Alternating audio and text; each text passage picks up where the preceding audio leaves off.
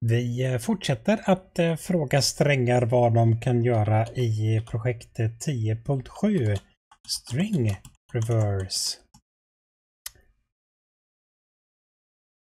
10.7 String Reverse. Sådär. Eh, vi tar och skapar det där projektet och lägger till en fil där vi kan göra våran string reverse i. Där, using system.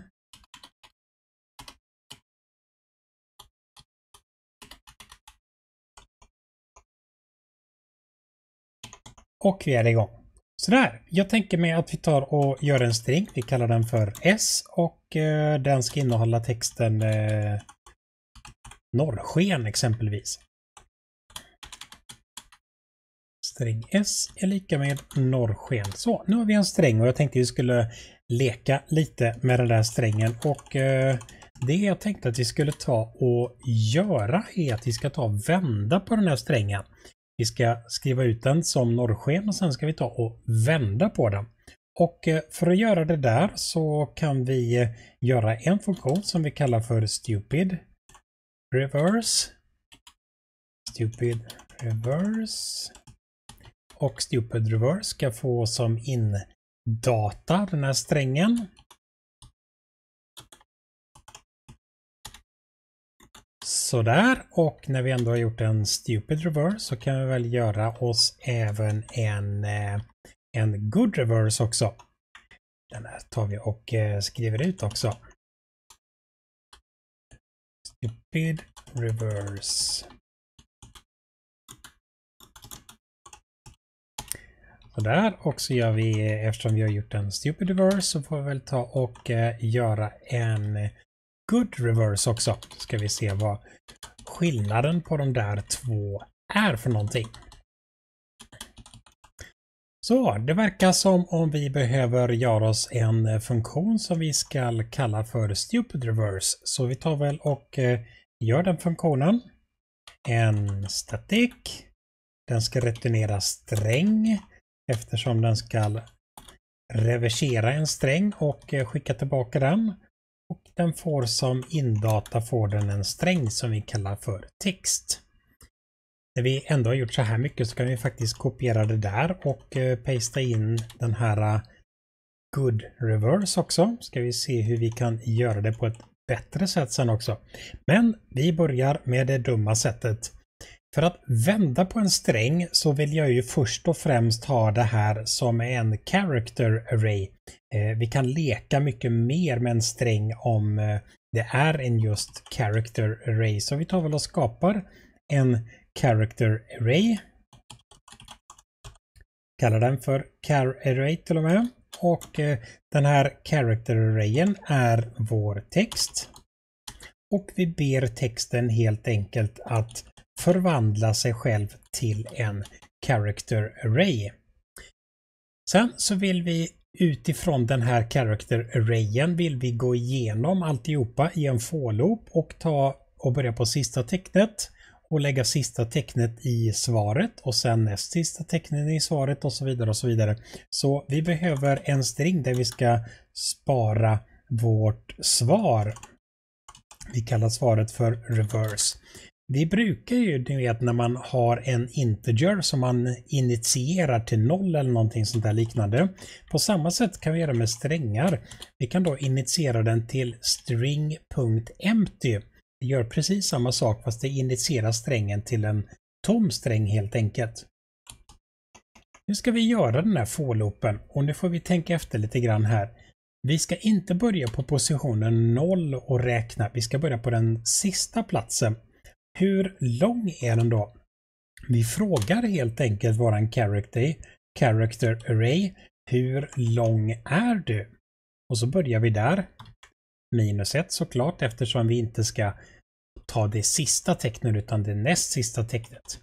Hur länge ska vi då hålla på? Jo, vi vill hålla på så länge som i är större än eller lika med noll alltså vi ska ju inte gå upp till 10 så att säga utan vi ska gå ner till 0. Och eh, för varje iteration så vill vi minska våran i. Så på det där sättet Vi börjar på sista platsen i strängen och så går vi ner till dess att strängen börjar. Det där blir fint det. Eh, vad ska vi då göra i alla de här?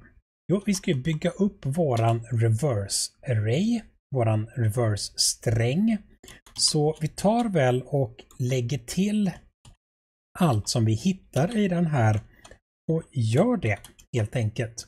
Så vi börjar på sista platsen och så tar vi det tecknet och lägger till i våran reverse och sen tar vi näst sista tecknet och lägger till i våran reverse och i och med att vi har plus lika med så bygger vi på så att reverse blir ett tecken längre så att säga för varje interaktion.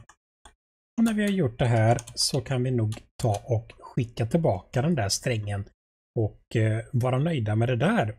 Eh, kan väl ta och eh, skriva return text eller någonting så att vi inte får ett felmeddelande på den där undre. Jag tänkte vi skulle ta och eh, prova nu. Stupid reverse kommer mycket riktigt, precis som vi hade tänkt, att skriva ordet norrsken baklänges. Så vi börjar på den sista platsen och matar på tecken. Men det där var ju som sagt stupid reverse. Eftersom vi har gjort en stupid reverse så borde det finnas ett sätt att göra det här på ett bättre sätt. Återigen så är det character array som vi vill använda för att leka med. Så vi tar väl och helt enkelt kopierar den där raden. Och Det vi vill göra nu är att vi vill vända på den här arrayen. Den har ju ett visst innehåll. Vi vill vända på det innehållet. För att göra det på ett smidigt sätt så ber vi helt enkelt eh, vi ber helt enkelt om att ah, den ska vi ha. Vi ber helt enkelt den här array-objektet att vända på sig helt enkelt. Så mycket mer än så behöver vi faktiskt inte göra.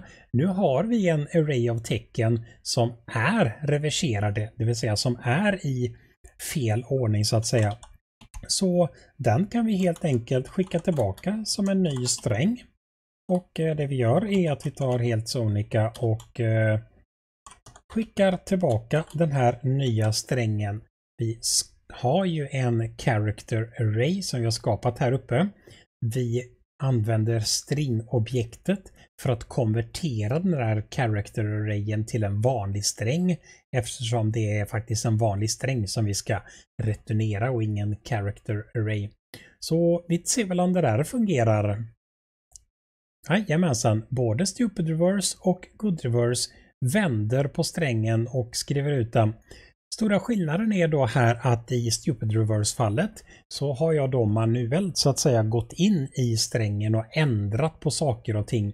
Eh, I Good Reverse-fallet så har jag då istället låtit objektet Array, alltså eh, C-sharps inbyggda modul för att vända på saker och ting har jag bett Array-objektet att vända på min Character Array. Den stora skillnaden är här att i Stupid Reverse-fallet så var jag tvungen att tänka jättemycket. Och det finns mycket stora anledningar, eller det finns stora chanser att jag har gjort någonting fel och att jag kanske har gjort någonting mindre bra och så vidare. I Good Reverse-fallet så fungerar det jättebra. Är det någonting som Reverse kan så är det att vända på saker och ting. Det är det enda liksom som den är riktigt, riktigt bra på om jag använder good reverse-fallet och använder de här inbyggda funktionerna som vi har i C-sharp till sånt här så kan jag vara garanterat säker på att det här sker på ett bra sätt. Jag har inte till exempel med någon felhantering eller någonting sånt där i mitt exempel men eh, jag är, kan lova att eh, felhantering är en av grundbyggstenarna i den här inbyggda reverse-varianten. Så, så långt det är möjligt, använd inbyggd funktionalitet för att hantera sådana här strängar eller vad det nu må vara. De inbyggda sakerna, de funkar jättebra.